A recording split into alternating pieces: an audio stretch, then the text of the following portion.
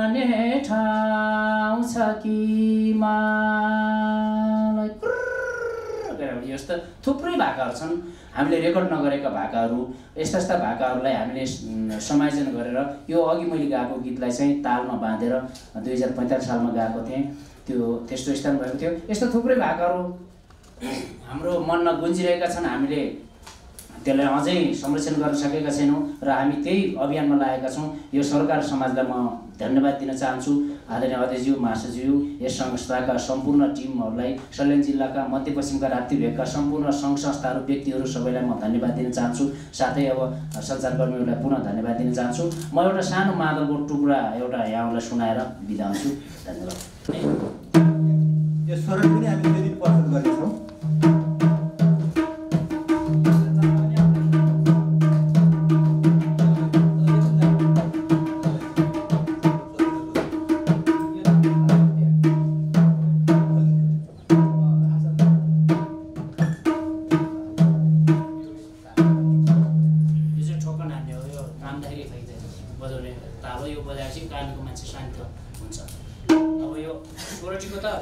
प्रकार हुन्छ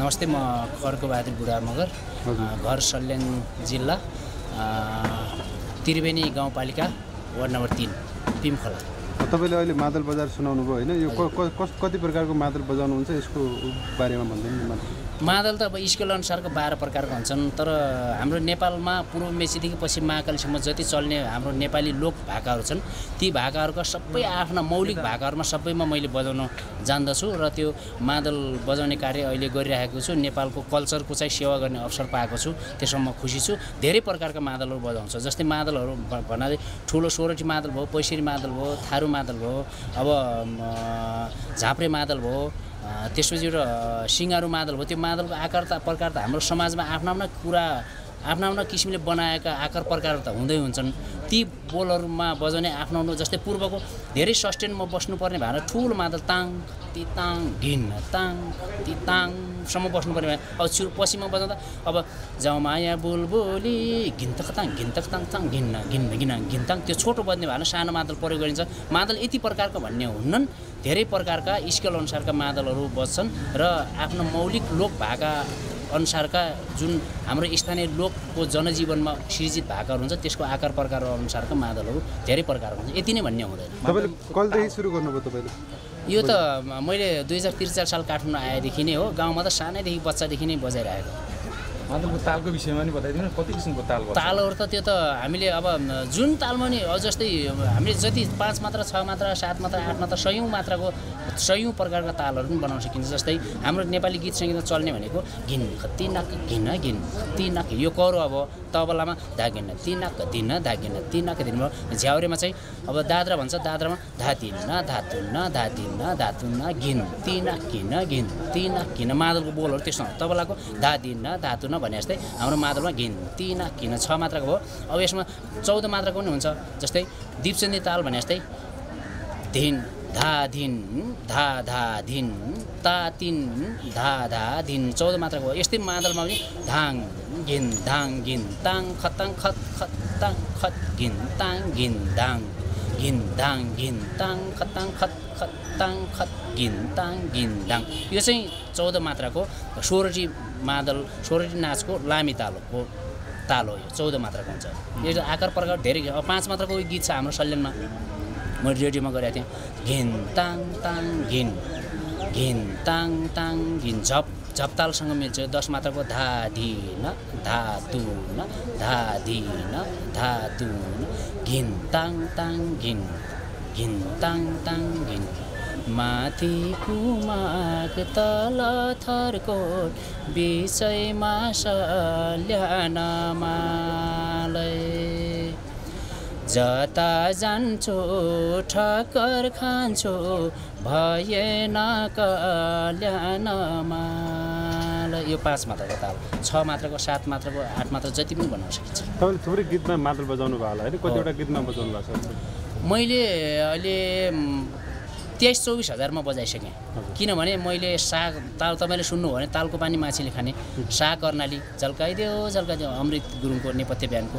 देखि घरमा पराल बारीमा बन्छु सान्नानीले झुक्क्याए मलाई त्यसपछिबाट पपुलर गीतहरूमा आउँदाखेरि के अरे अहिले आएर तपाईँको सबभन्दा पछाडि आएर सालको पाता टपरी हुने नहुने सल्लाहको भन्नेसम्म आउँदाखेरि चाहिँ मैले थुप्रै गीतहरूमा चाहिँ थुप्रै गीतहरूमा चाहिँ मैले बजाएको छु जस्तै हेर्दा राम्रो माछा पुस्रे भन्ने गीत पनि त्यो पनि मुद्दी दाईको सङ्कलन शरण धर्मेन्द्रले गाएको सबै गीतहरूमा समेल लैजाऊ मलाई घुमाउन ठमेल बजाएर अनि कुटुमा कुटु होइन? सबै गीतहरू मैले बजाएँ नेपालमा मादलको इतिहासमा चाहिँ प्रेमदेव गिरुको नाम अलिकति उहाँ पनि राम्रो हो बजाउनुहुन्छ होइन? प्रेम दाई अँ हजुर। हो। कसरी लिनुहुन्छ तपाईँले? कसरी प्रेरणाको स्रोत प्रेम दाई मेरो गुरु हो होइन? उहाँ म रेडियो नेपालमा जुन भाग लिन आउँदाखेरि उहाँसँग भेट भएको थियो त्यसपछिबाट उहाँले रेडियो नेपाल छोडिसकेपछि हामीले बाहिर प्राइभेट सिङ्गल साउन्ड भन्ने सिङ्गल साउन्ड सर्भिस भन्ने कुपनडोलमा थियो दुई हजार चौवालिस सालमा। त्यसमा चाहिँ सँगै रेकर्डिङमा काम गर्ने अवसर प्रेम दाईसँग पाएको थिएँ। दाईहरूको हात दाईको प्रेम दाईको हात हेरेर मैले प्रेरणाको स्रोत प्रेम दाईसँग लिएको हुँ। र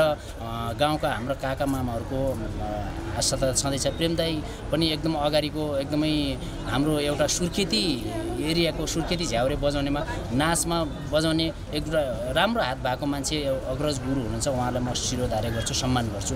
दाई अब अहिले उमेरले मभन्दा धेरै जेठो हुनुहुन्छ तर दाईबाट सिकेर पनि मैले केही ज्ञान प्राप्त गरेको तपाईँले युगल साँझ पनि गर्दै हुनुहुन्छ त्यसको महत्त्व अथवा किन गर्दै हुनुहुन्छ त्यो?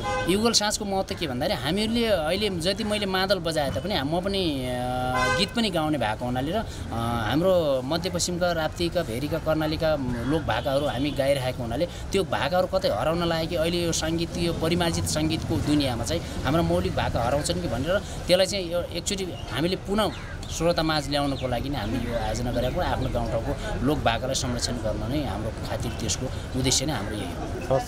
धन्यवाद।